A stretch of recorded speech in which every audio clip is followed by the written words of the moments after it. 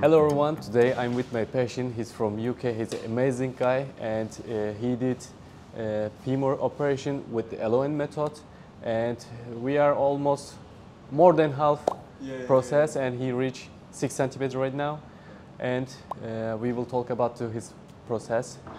How do you feel? How is your lengthening process Um, until now? until now, like right now, I feel like really good. Like I feel like I've reached a nice height now where if I'm barefoot, like I don't feel short. Like before, I would just naturally just feel short. What was your height before? Uh, 162.7. Okay, it's almost close to 170 right now. Yeah. Okay, let's go. What, what, what's your goal? Um, my goal, um, so in feet. Goal is there. Yeah. Goal, goal There's is the goal there. there. Um, so in feet, I was like five foot four and a half. Um, I never like to say that, yeah. So roughly now I'm about five seven. I can happily, proudly say I'm five seven, yeah. Um, I would like to do two more inches to reach five nine. Um, It means so plus five- 10. Yeah, well, it's a bit more than ten. So it would be uh, one seven five point five, which is uh, I think. Uh, yeah, so two, yeah, maybe just just under two centimeters more than my uh, original goal. Okay, let's see your flexibility. Let's see your bone healing. Uh, you know, it, it really depends of your bone healing flexibility. But by the way, he's really flexible, guys, and uh, he's doing amazing job. And can you do your daily routine with your fixator? Um, okay, so my daily routine, um, what I'll do, I'll wake up in the morning and I've got a roller and I'll roll it. Um, I'll start by sitting on it. I'll roll it on the back pins, then I go all the way forward to the front pins um, to about my calves. Then I'll have to get up, turn around, and then I roll it from like my knees all the way to my front. Um, then I will get the stretch bands. I'll hook them onto my feet and I'll pull them in. So then I'll do my quads, and at the same time I'll pull them up and I'll do my hamstrings. Um, I'll do it like one leg at a time, and then another stretch, which um, which is really really good for the quads, is I'll lay on the front, yeah, yeah, and I'll I'll literally yeah like pull it from the back, and I'll hold it like you got to time these things. Um, it's not easy, but I find that that one where you pull it from the back, if you can't sleep, it's something that really helps you to just relax. For some reason, it's just it really kind of takes it out of you, and it helps you to just just chill How out. was your sleeping? Um, sleeping is up and down. Um, this is it's, it's not an easy process. I'll be honest with you. Um, I put myself through a lot of challenges. Um, I've done like body transformations. Where I've got like a six pack and muscles, and I've gone from um, when I when I first started training, I was seven and a half stone, and um, like me training myself, I put on five and a half stone in a year, and I got like really big. So I like to challenge myself, but this is the hardest challenge ever. This is the hardest challenge ever. But with the hardest challenges come the best rewards. It's about to pain or Um, do you know what? It's almost like it's pain, but it's like a numb pain. It's almost like somebody pinching you, and it's like it doesn't necessarily hurt like ah, but it's constant. It's it- always there because you're doing lengthening, right? Yeah, yeah, yeah, yeah. Like people have explained it to me like it's having like a clamp on your arm, and you know as soon as it gets removed, you forget about the pain, and people are like, yeah, I'll do lengthening again. I'll do it again and again and again, and so it's like you forget about the pain, kind of thing. of course. You know what I mean? It's not your body material. Uh, that's why during lengthening it will help for you for uh, grow. But when you remove that, uh, you will be better because right now your muscles getting tighter, tighter every day. But after removal, your muscles, I mean, you will be recovered, and then you will be much better. And yeah, but until now, uh, right now, it's he's really good, and he can walk with crutches. He can do your daily routine exercise. I mean. Uh, he can go to gym for doing upper body. He's look, he's a muscle guy. Yeah. yeah. Akın, he put me through my paces, and I felt like I was back at home. I felt pumped up and everything. So respect for that, bro. Thank you so Honestly, much. brother. thank you. Thank you Yeah. so much. What's your motivation for get taller, bro? Um, to be honest, it's a challenge for me. Um, so I've always you know, wanted to challenge myself to see how fast I could run, how high I could jump, how big I could get, you know, um, how big I could make my forearms, make my shoulders, my chest, how much I could bench press, you know, how big I could make my quads. But um, with, um, with weight gain, it always goes down. But with height, it's forever. You know, you, your height is not going to go down if you stop walking or whatever. Maybe when you get old, very old in your But it's not about your legs. It's your, about your spine, you know? Yeah, your spine like crumbling down. But anyway, we're going off topic. My legs, they're going to be tall forever. Yeah? So everybody, when you see me, you're going to be surprised. I'm going to be filming all your reactions. Yeah? Do you feel taller right now with six yeah. centimeter? Yeah, yeah. I, f- I feel a lot taller. Um, like when I see people that are like five, four and a half, I'm like, no way. Like I was not that short. Like to me, somebody that's like five foot and a half looks like about like It's short, but they they look like they're about five one. Like honestly, they like I can't believe I was that short. It's it's still hard for me to grasp that I'm actually five seven and a half or whatever. You know, nearly five eight. Um, so it's like, yeah, it's, it's it's really hard to grasp, especially if I've got trainers on. Um, I feel a lot taller. Um, so I'll stand next to people like Akın, like are you, you six three, six four? uh, I'm 191. Actually, I don't know what's the inch. I Yeah, think yeah. six plus, but Yeah. six so so this this guy, he's just a giant. Yeah. He's like a lamppost. Yeah. How about Khan? He's more taller than Oh, me. Tree. We, this, yeah, he's a lamppost. Another guy's called Tree. Yeah, he's just called Tree. Yeah. when I stand next to these guys, you know, um, I'm not as tall as them, but I, I don't feel too out of place. You know, because I still got a good um, lot of body weight on me. I'm like a decent height now, but five nine would be perfect with trainers. You know, I'd be five eleven with the top of my, with my hair. You know, six foot. So it's like I feel like I've gone from being five four to like almost six foot. Do you know what I mean? Once I reach my goal. The important thing is what you feel. Um, Are you I happy or not? Yeah, I, I feel happier in myself. I feel um, like really confident. Um, not like I wasn't confident. Um, you know, I'm, I'm a business owner, so I've got a load of businesses. Um, like romantically, like that was never an issue. Um, but it's always something within yourself um, that like you just want to challenge. So it's like, for me, within my family, I'm not. I wasn't really short because my mum is like 150 and my dad was my height. So I'm kind of average. But then, you know, when we come out the door and we're in the outside world, we got uh, lamppost guys like this, yeah? and, you know, he's still tall.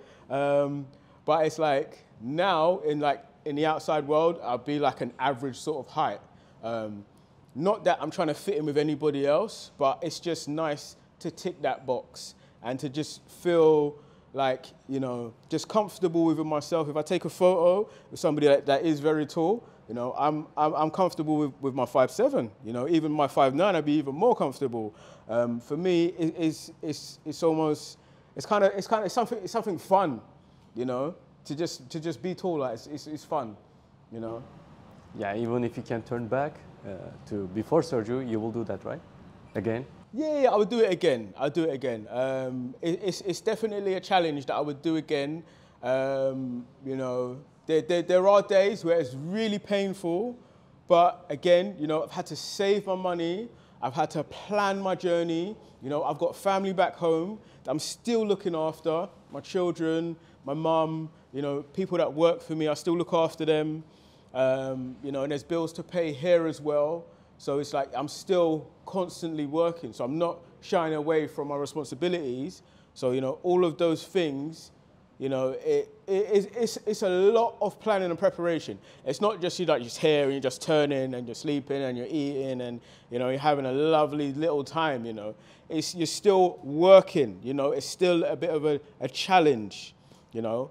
But um, I would say anybody that wants to do this, just do it. Just do it, you know, because the results will speak for themselves. Yeah, he's doing per day one millimeter, and it means 10 days, one centimeter. And it of course depends of your bone healing and flexibility. If you have good bone healing, we can increase your lengthening speed, or if you have average, we can keep same speed. If we see less bone healing, we can decrease your lengthening speed. Sometimes he's stopping the lengthening because of the you need to you need to rest sometimes, right? Yeah, yeah, yeah, yeah, yeah. The thing is, I like to push myself. So I may stretch maybe six, seven times a day. Like Akın, he done some really good physio for me. Done a lot of scraping around the pins, um, like a special method that he does in physio. Um, it released a lot of tension around the pins. But then afterwards, I felt like going to the gym to stretch my body out because now what I'm finding is that you know my back is sort of curving a little bit. So you know I have to correct those things. You know, he's doing his job, but it's still my job to maintain myself. You know, um, so yeah, I just I just say thank you, You're my bro. welcome. I You're appreciate bro. you so much. Thank you, good You for know? good feedback, brother. Yeah. And we are working for our, uh, all our passion, of course. When you need anything, you have to text us, you have to connect each other. And we have eight, eight physiotherapists right now in the center. Also, we have medical team, nutritionist, the other securities or kitchen staff. Uh, we have a good, A good team. Even Good even team, right. even even the cleaners, um, the canteen staff. Hello, you know, everybody here is like a it's like a big family unit. You know, so like when you come here, they'll make you feel really welcome. You know, um, some people they come down to the lobby. Other people like to stay in their room and stay focused. Um, I like to do a bit of everything. You know. this is the best thing. Yeah. I cannot stay in my room forever, you know? Yeah, yeah, I, yeah. I have to move it. You have to move that for blood circulation. This Yeah. is really important. You need it. You need Yeah. it. Also, you have to time, you have to go to gym to doing your daily routine exercise. You have to come to physiotherapy session for, you know, manual therapy. Of course, you need it. Definitely you need it. Uh, you cannot do your lengthening by yourself in your home. You have to support with physiotherapy, uh, with the medical team, you know. That will be helpful for your lengthening process. And that's all for me. Thank you for all your answers, brother. Yeah. We're still in protest. Let's see how it's going end of process. Yeah. Signing out.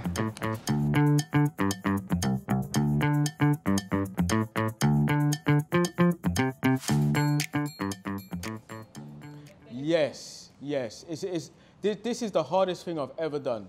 I'll be honest with you, hardest thing I've ever done. But it hasn't deterred me from wanting to stop it. It just means it's challenged me. It's brought out different things in me. Uh, some days I've cried. I'd never cry. If anybody knows me, I'm not a crier. How you doing, bro? You all right? um, yeah, I'm, I'm not a crier, but it's just bringing out different emotions in me. Um, you know, but as I'm growing, it's like my character's growing and different things are coming out in me. So, you know, I, that's, that's one thing I didn't expect.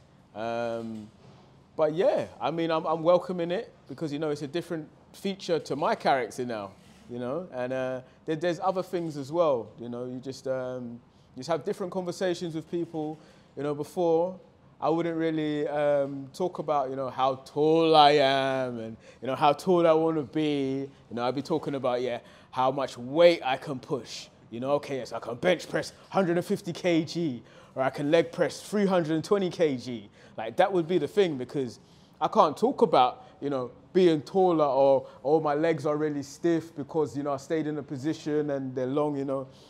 I, I can I can talk to, to tall people now about their issues, you know. We got you know sometimes we got long leg problems. But we have a solution. we have a solution. We have a yeah. And the funny thing is it's like everybody thinks they're a bit taller than what they are. So it's like out on the street, I would say people say they're like three inches taller than what they are. You know? So if a guy's five five, he's like five seven, five eight. Yeah?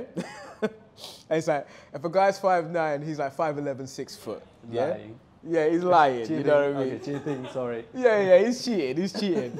so it's like, um, I went to the mall the other day, and um, I was just talking with this guy, and um, he was just he was saying, "Oh, how tall are you?" And I'm like, "I'm not even sure anymore, you know, bro." And he's like, "Oh yeah, I'm a, I'm 180." And then when I stood up next to him, I'm looking at him in his eyes, and it's like, "Bro, you're like an inch and a half taller than me. Like, there's no way you're 180." unless I've just grown while I've just, you know, been sitting on the couch. But um, yeah, I mean, it's all fun and games, you know. So that's what I'm saying. I can have different conversations now. You know, people look at me in their eyes and they tell me they're 180, and I'm like, okay, all right, yeah, yeah. You're tall, that's fine. Like, Not with me. Not with me. yeah, yeah, I yeah. can see. Yeah. I haven't really lost much weight. I eat quite a lot. I probably eat maybe four to six meals a day. Um, that helps me with the, with, the, with the pain, to be honest. So if I'm in pain, um, for me personally, I'll be like, you know what? I'm going to eat a meal. You know, rice, chicken, some vegetables. Um, that kind of, for me, that kind of coats the pain. You know, I'm not really getting fat. Um, I can't do much cardio, but still, like, I'm, I'm able to like maintain my muscle mass um, which is good. A lot of people saying, "Oh, how come you you you maintain your muscle mass?" And it's like, for me, I'm thinking to myself, I don't feel that big anymore. Like I used to be a lot bigger, but It's genetic. yeah, it's genetics, and it's like I've been training for 24 years, so you know I've I've been working a lot for the muscle that I have. Um, so now that it's kind of gone down a bit, like it's still there, but like if you see me and I'm in the gym for like three months, you know, people ask me to compete. You know, so what I might actually do when all my legs are sorted and stuff, um, I might even compete for a bodybuilding competition. One thing that we didn't talk about, it's good to socialize for like your mental health because you could be in your room, you're having pain, crying, yeah, because you're emotional, because you're feeling vulnerable. Um, but then when you come downstairs and then you talk to the other people, they're telling you the same thing, and then you laugh. You say, "Oh my God, yeah." I, you know, I had the same thing. Another guy, he said um, he was looking at this thing on Instagram, and he started crying. I was like, "Bro, yeah." In the morning, I was watching TV, and I'm just like starting to feel sad. I'm like, "This is not me." But because I'm in a vulnerable state, you know, because I'm lengthening, you know, it's bringing those things out. But when you come and you socialize with people and you exchange your stories, you realize that you're all going through the same thing, just at different times. Yeah, and, and as well, what, what's, what's quite weird is, is like the new patients that come in that are my old height, like I say, they look really short, and it's like, they're telling me like, man, they might even be 164, and I'm like, 164? And I was 162, and you're looking that small? I'm like, damn. I'm like, bro, you're gonna be as tall as me. You know? Everything for that feeling, bro. Yeah, yeah, it's amazing. It's like another guy said, um, it's expensive, but this is like my BMW. Yeah. You know?